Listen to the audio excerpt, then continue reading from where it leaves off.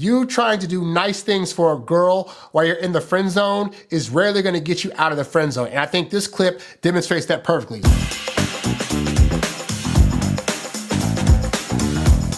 So today we're going to watch a comedian. His name is Akaash Singh. I believe that's how you pronounce his name.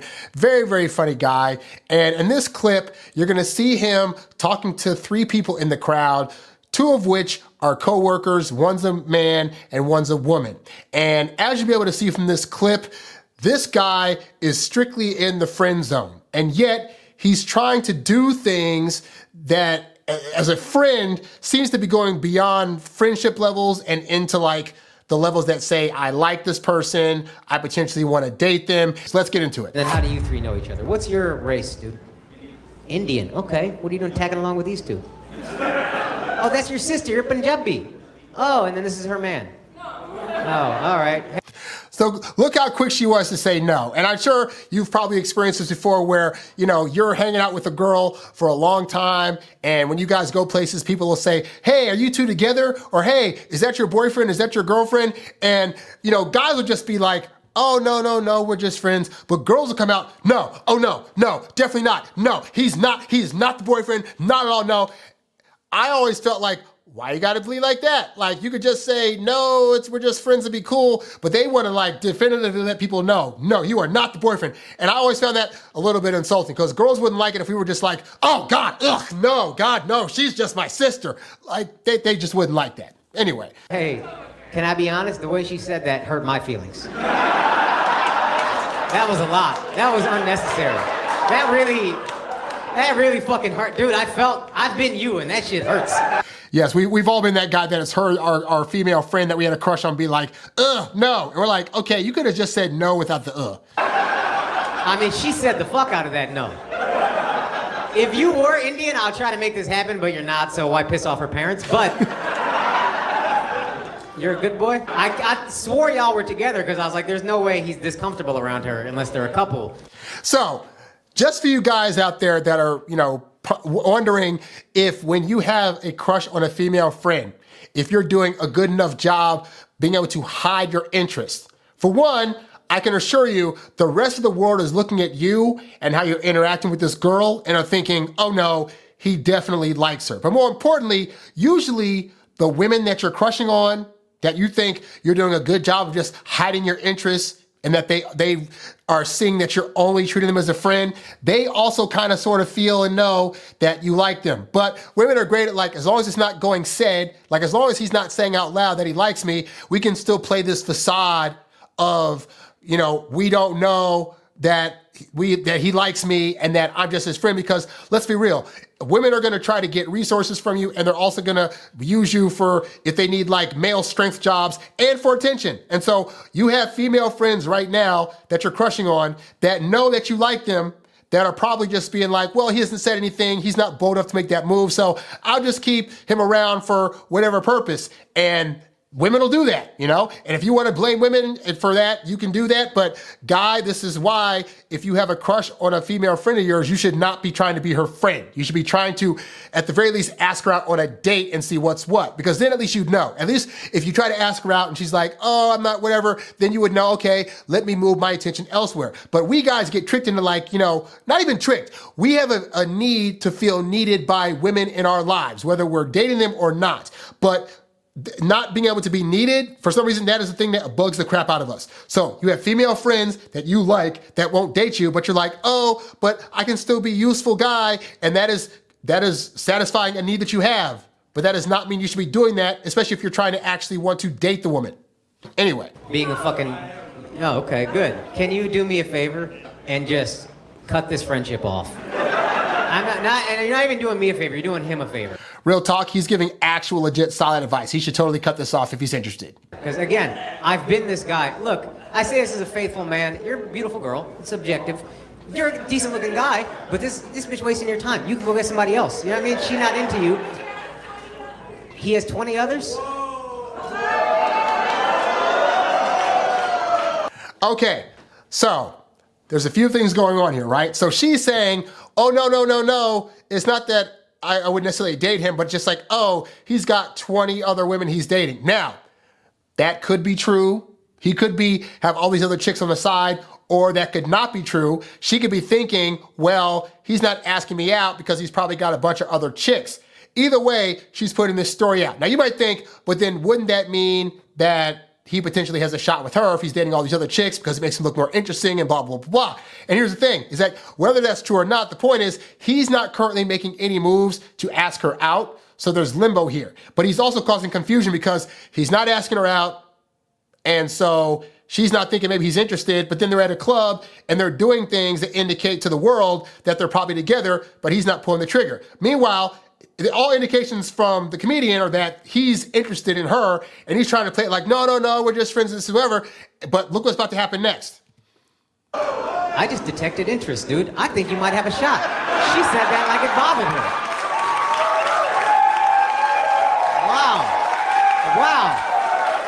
Wow, you are back in the game. I had no idea.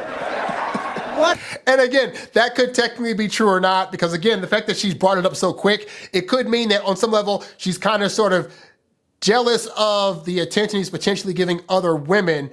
But that still doesn't necessarily mean that she would date him, if that makes sense, you know? What a fucking thing. Who knew? What kind of brother are you, dog? You better be sitting in between these two motherfuckers. You a shitty ass brother. You know this man got horny intentions with your sister, and you just letting them sit shoulder to shoulder? You ain't shit. Are you out of your mind? This guy's the king of calling people out, by the way. I love his stuff. I'm livid. I got a sister, cousin, but you know Indians don't do any different. That's the same. If I saw a guy sitting this shoulder to shoulder to her and he didn't make six figures, I'd be in between them so fucking fast. You out of your goddamn mind. This chick is already looking at his stats in terms of what he makes at the job. Again, these are technically positive things, but if he's not willing to pull the trigger to risk the friendship, or, you know, in this case, they work together, so maybe he's not trying to risk the job. But either way, like, he's still going to comedy clubs with her and spending all this time with her. So to not be trying to do stuff with her, that's a little suspect. Hold on, what kind of six are we talking? A healthy six or like a, you know, like 101? Because with inflation, with inflation, that ain't the same as it used to be. I just gotta say. I know we're in Greenville, but uh, I have a feeling 100K ain't what it used to be here either. It's her birthday? Did you get her something for her birthday? Would you? I do. Okay, so again, not currently dating. They're just out having a good time. I'm guessing he probably also paid for her to go to this comedy club. Maybe her brother did. We're not sure. But the point is, it's her birthday, and he got her a gift. I want to see it. And by he took a picture of it on his phone. Again, this is these are all like indicators that he's definitely interested in not making a move. Oh, he got you flowers. You know what? I do this for my friends all the time. and a gift basket? Are you out of your fucking mind pretending this is friendship? You just got a whole cosmetic gift basket. This is Okay, I'm gonna round back on that part right here so we can see exactly what he got her. Hold on a second here. Are you out of your fucking mind pretending this is friendship? Just got a whole cosmetic gift basket.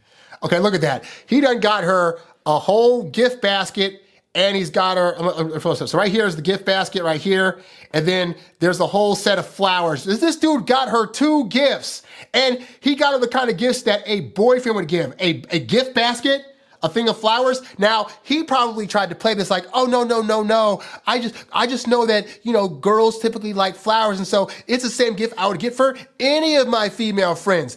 But that is a bold-faced lie. We all know he would not do that. He would not get her flowers that look like I think those are red roses. This is crazy. Look at this beauty products all over this motherfucker. Look, y'all see this bouquet? This shit is a fuck. Look at that. Red roses. We are know, even if you're dumb, that red roses mean are, are the I love you flowers. So this, so this guy in this friendship is taken out to a comedy club, front row seats, got her the really nice gift basket, and got her roses with uh, other sets of white flowers. These are all things that are nice things to do for women that it, it actually on, on a subconscious level and really a really obvious level indicate romantic feelings of some type and women are great. Again, men will chase women all day and give them things. And women know how to play it off as like, oh, he's just being nice. No, he just thought of me for my birthday and he's just being friendly. They've learned the language of being able to play that off and not give any indication that they think that you're giving this gift with the intention of trying to show romantic feelings, even though they also know that's what's going on. But again, they're able to play the game of if I act like this isn't a romantic gesture, then it's not a romantic gesture, and I don't have to act like he's trying to romance me. Do, do, do, do, do. We can keep our friendship. You the, this is a funeral mom this bitch got. This is a funeral arrangement. Look at that. I'm gonna throw the phone back. You got it? Decent coordination. That's good.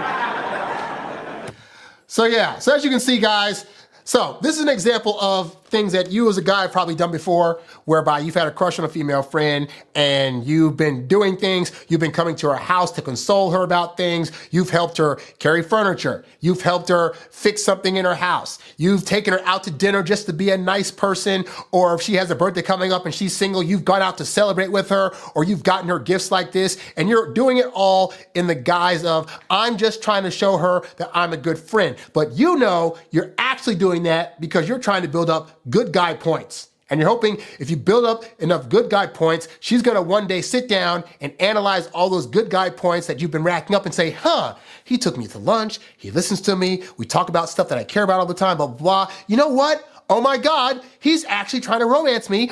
And I think he's, yep, he's earned enough points to be able to be my boyfriend and for me to have feelings for him. And that's not typically the way this goes. The reality is, yes, it is possible to be friends with a woman and somehow get out of the friend zone. But that pathway is not is not filled with you doing a bunch of nice stuff in the hopes that she'll see that and realize analytically that she must feel things for you now because you've done all this stuff. And too many guys get into the game of I'm going to do nice things and be rewarded for it with romance and hookups and a long-term relationship. And the reality is women do not owe you that. If anything, the things this guy is doing for this girl, those are things that she would get after she's earned it by spending time with him, by being able to show on her end that she's willing to do things for him as well. And then at the point that you guys get into a relationship, that's when the rewards come, the flowers, the candy, the extra attention on birthdays and holidays. But you guys want to potentially give that up early thinking again that if you show it early, you're trying to show off now what you'd be like as a boyfriend. But women don't want to experience you as a boyfriend until she's made the decision that she likes you enough to want you to be her boyfriend. And so unfortunately for this guy, like, yeah, he's stuck in the friend zone. She may think, oh, he's got 20 or so other girls, but the reality is, even if he didn't, she wouldn't currently be interested because she's already reaping benefits from him as a result of just being a friend. Why would she want to now ruin that by turning that into a relationship, messing it up, and then not getting those benefits? So for you guys out there that have fallen for this trap before, hey, I've been there too. I've been the guy that had female friends that I was doing all the nice things for while they were out bumping up with Chad and Tyrone that weren't doing a darn thing for them because they understood, those guys understood that it's not about the things you're doing for her. It's about how you make her feel. And how you make her feel isn't going to be built up as a result of doing all these nice guy things. This is why it's important to learn game. It's important to learn, you know, what kind of speech do you need to have? What kind of swag you need to have? And I'm not saying you got to be a whole different person, but what I'm saying is that realistically, in the attraction building process, you doing nice guy things is not going to necessarily attract women, but you knowing how to listen, you knowing how to have a fun time with them, how to make them laugh, you knowing how to be flirty, you knowing how to throw down in the bedroom. Those are things that are intangible, but that are going to make women feel more things for you than just, oh, this nice guy got me flowers, just like the other nine guys that also got me flowers that I'm not dating anymore. Okay. So learn from this guy's mistakes, guy. You don't have to be this much of a simp in order to attract a woman. And also, also, don't think you're doing a good job at hiding your interest in any of these women that you're trying to hide it from. Because the comedian on stage here, he could tell, just like everybody else in the audience could tell, he's sitting all close to her. He's got the googly eye look in his face when he's talking about her, looking at her. Like the world at large, including her, knows that you're interested. So it's better for you to just be like, look, Uh, whether I'm getting her or not, she's gonna know I'm interested. I might as well ask her out on a date and see what's what. That way, if I if I find out early I'm wasting my time, then I can get out now versus being stuck in a friendship where you're doing all these simp things and not getting the results that you want. Hey there, thanks for tuning in to Harry Dating Convos. Don't forget to visit harrywilmington.com to download my free ebook, Texting Women Like a Boss. And while you're there, if you're ready to take things to the next level with your dating life, check out the Get Girls Academy membership program for exclusive strategies and live coaching. Go to harrywilmington.com to learn more and join today. Lastly, if you've got a question you'd like answered on one of these shows, leave a comment below or write me at harrywilmington at gmail.com. I'll catch you on the next one. Peace.